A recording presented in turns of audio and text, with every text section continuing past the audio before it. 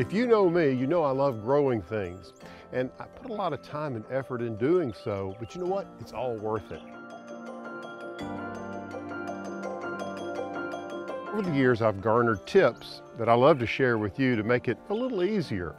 But we can never forget some of those little workers that are always behind the scenes that help me.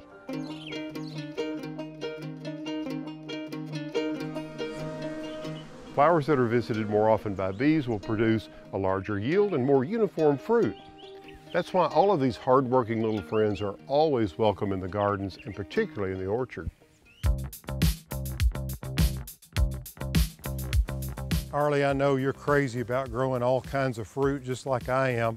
You know, I try to get as many folks interested in growing some apples and pears and peaches or whatever in their home gardens. And one of the big questions I think is pollination. How many trees should I have? Can, do I need two of one variety or two of two different varieties? What's your take on it? Well, you, you pose an excellent question. And the truth is it varies with the species and the variety.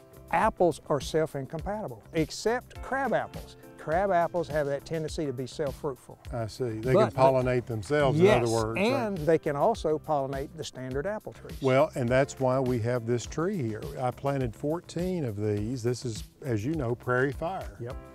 It's an old variety. Old one, very nice. and it has a beautiful pink bloom on it. And I planted it because I thought it would help our fruit set with all our other apples. Yes, that's very true. And of course, uh, you've got the sort of natural pollination, but then we, we love the help we can get from our friends, the insects. In our area, we have honeybees and we have some hives. They are pollinating today, I can tell you. And believe it or not, even a carpenter bee that messes with your house and does all that bad stuff, They'll do a little pollinating. they will do a little pollinating. Of course, the Kieffer pears just started blooming here, and I tell you, the, the honeybees wasted no time You bet. working those flowers. Absolutely. And, and that's one reason uh, if you're using any type of pesticides, you're very careful during that pollination period, during that flowering period, to, to not use those. We really um, need to be thinking of alternatives to these pesticides if we can.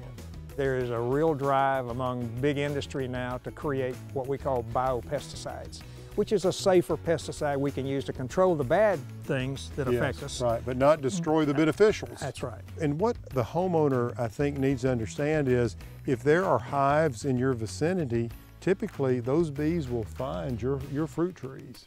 That's very true. Yeah, you don't have to keep hives in your backyard for your fruit trees. That's right.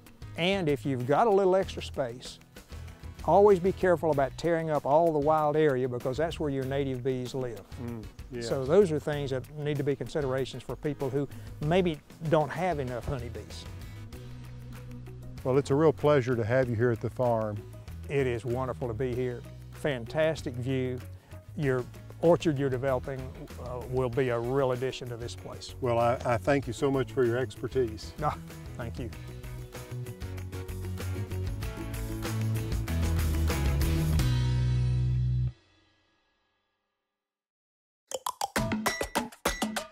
Hey, are you looking for ways to attract more butterflies into your garden? Our friends at the Botanical Garden of the Ozarks tell us how.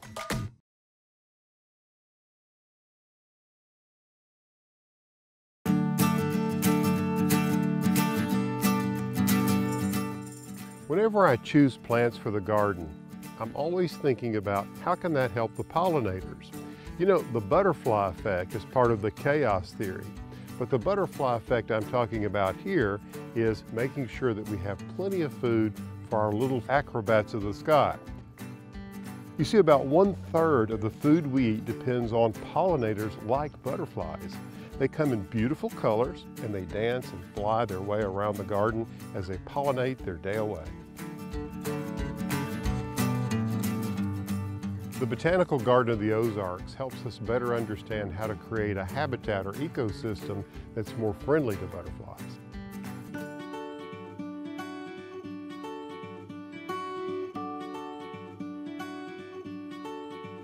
My name is Charlotte Taylor, and I am the Executive Director of the Botanical Garden of- the Ozarks here in Fayetteville, Arkansas, and I help to manage and run this beautiful facility.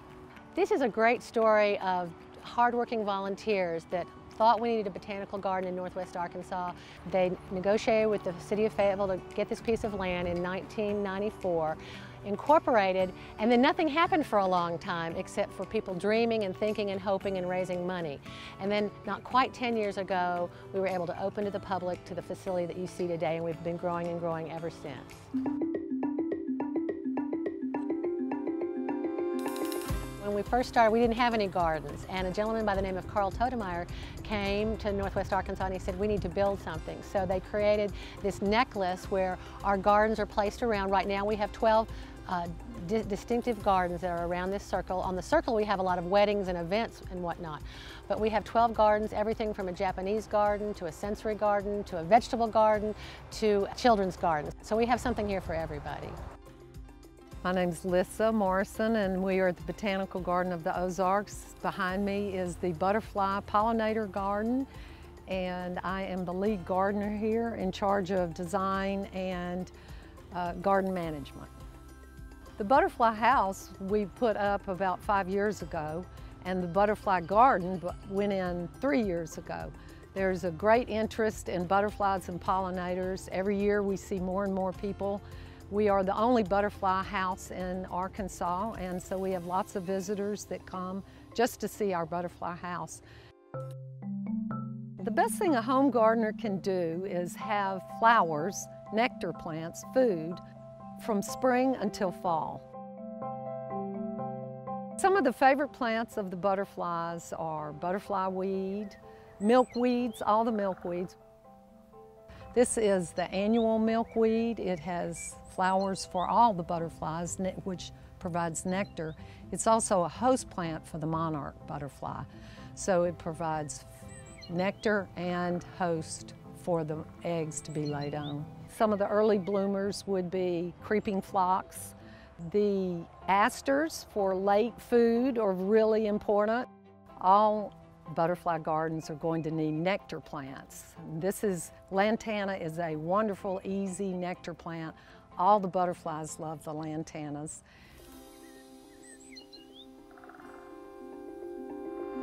We have a whole group of volunteers that helps with our butterfly program. And these volunteers do the life cycle, some of them at their home. We call them butterfly nannies. Uh, they have, they come early in the spring with the first butterflies that we release in the house. In the house, we have the host plants and nectar plants. We have everything they need to do the complete cycle. I've been here for seven years, and the more flowers, the more pollinating flowers that we have in the garden, the more we see butterflies. So I, I lean toward looking for plants that we call, I call well-behaved natives. They've been here for eons, so they can hold up to the weather conditions regardless of the winter or the summer that we have.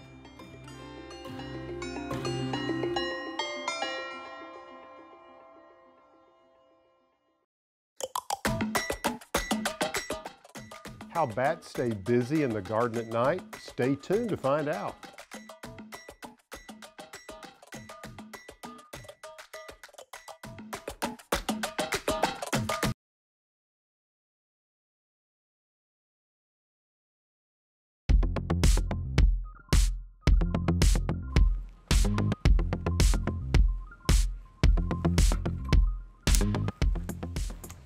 Some creatures actually prefer the dark.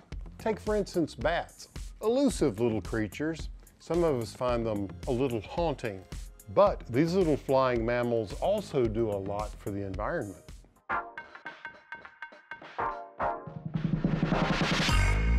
Welcome to War Eagle Cavern. It used to be referred to as Bat Cave.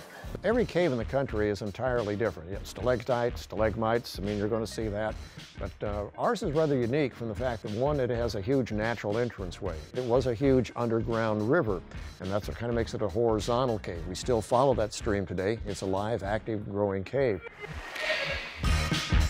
That horizontal river, as it was digging its way out, sometimes the pressure would simply force it to dig straight up. Water takes the least resistance, so it would dig huge domes soaring up into the ceiling, 50, 60 feet or more.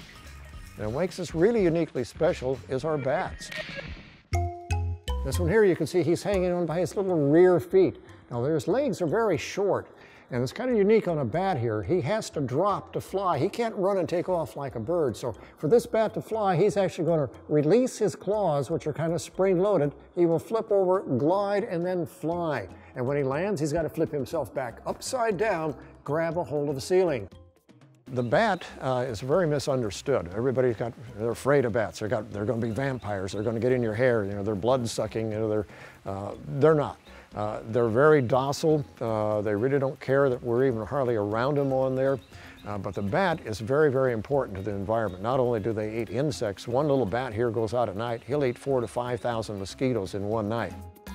So a number of years back, a lot of scout groups started building uh, bat houses so the bats would be around to take care of the mosquitoes that carry a West Nile. The same thing uh, with the Zika on there. The bats seem to be able to tolerate about anything the mosquitoes have and get rid of them. So bats are extremely helpful.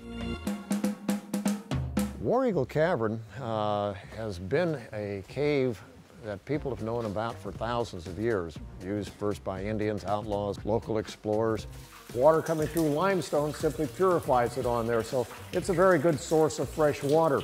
Probably one of the reasons the moonshiners like coming into this cave to make moonshine whiskey. We estimate today there's probably well over 100,000 bats that use our cave. Little bats like this, they can live up to 25 years. And when they have babies, mama bat has normally one baby per year. Sometimes they do have twins, but like any other mammal, that mother bat has to nurse that baby bat. It's a live birth. They're kind of unusual. Uh, they're hanging upside down when they give birth in these huge colonies on there. The small baby bat, when first born, is probably not much more the size of a thumbnail. Clings with the mother for maybe a week or two until it gets too big for the mother to carry. She will then leave her bat in this huge colony, and it's a very social arrangement. Only about a third of the females at any one given night will go out to feed. The other two thirds, they can provide warmth and security for those baby bats. And when that mama bat comes back, she can find her own baby bat. There's probably over a thousand different kinds of bats worldwide. Bats are extremely helpful. They range in all different sizes, some pollinate. It's kind of nice. We have no mosquitoes around here, so those little bats do a good job on all the insects. So they're, they're, they're very good for you know, the environment and everything else.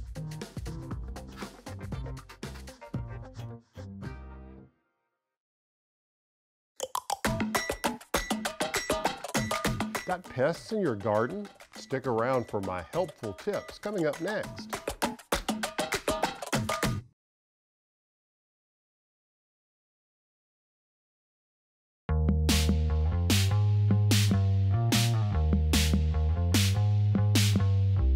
It's important to be prepared when those bugs come knocking. Using organic or natural approaches to keep those pests at bay, well, it just makes your outdoor living space that much more enjoyable. As you may know, there are certain herbs and plants that contain essential oils that will actually deter those pesky bugs. By strategically placing some of these in your outdoor living space, well, you'll keep those bugs from hanging out with you. Citronella plants and lemongrass are popular options for pest control because they contain mosquito repelling qualities. In fact, citronella oil can be found in most outdoor insect repelling candles. But even some of the most common herbs like basil, sage, and lemon thyme also repel mosquitoes, houseflies, and other pests. Herbs that you're likely to have growing around the house, such as rosemary or mint, they repel fleas, ants, moths, and other pests. Not to mention, they'll keep your outdoor space smelling really fresh. And of course, one of the greatest benefits of having these herbs is, well, you can cook with them. They're delicious. If you're like me, you love to eat. The thing you want to keep in mind is that when you plant them in plastic containers, you want to make sure that that plastic is a food safe grade. You see why this is important is that when containers are not made of food grade quality plastics, well, some of those chemicals can leach into the soil, then they're taken up by the plants and then you eat them, which is not a good idea. You don't have to choose between controlling pests and having a beautiful outdoor space. You see, mixing ornamentals and pest control plants is a great way to incorporate some color or texture into your space while also repelling those pests. It's important to note that you'll also find that integrating some smaller containers like this with some of these aromatic herbs will also help keep the pests away. Pest control planters such as this are just one of many ways you can take care of those bugs in a natural and organic way. Give it a try.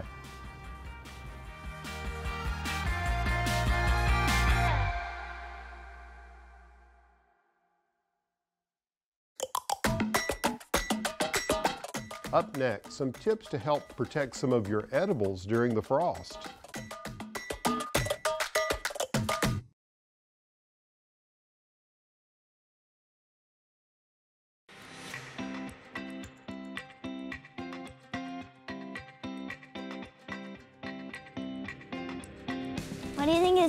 Is cabbage, Mr. Allen? I planted oh at my school. gosh, Gracie, that thing is huge.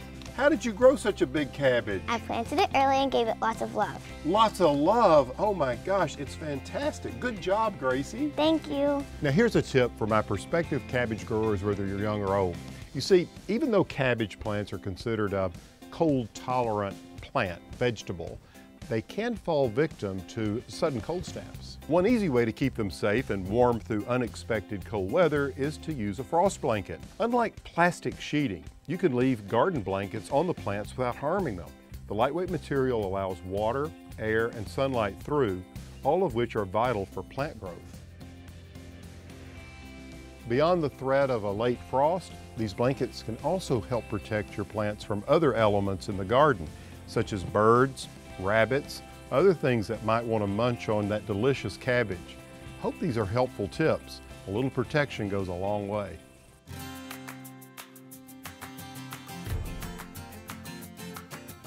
Take a look at this cabbage. Isn't it a beauty? One of the first questions people ask me when they see these big cabbages in my garden is, what are you gonna do with all that cabbage? Well, there are a lot of recipes for it, but let's face it, cabbage is full of great things for us. You see, cabbages are rich in antioxidants, vitamin C, and other essential vitamins, making this vegetable one of the world's healthiest foods. At only 22 calories per cup, you can pretty much eat all you want. Here's a few ways that I would transform this big boy into a nutritious dinner. Coleslaw for your fish tacos or favorite barbecue. A healing cabbage soup. One of my personal favorites is the slow-cooked turkey cabbage roll. Mm-hmm.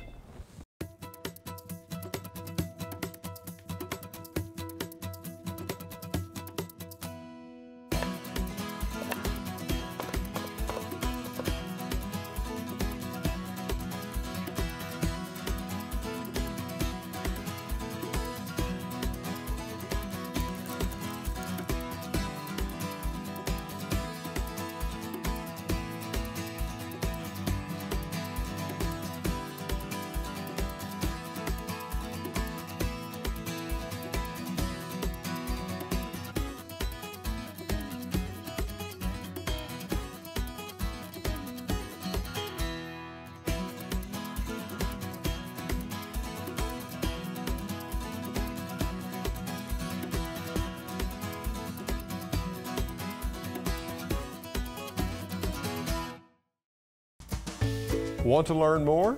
Visit pallensmith.com for delicious recipes, garden tips, blog posts, and our online store.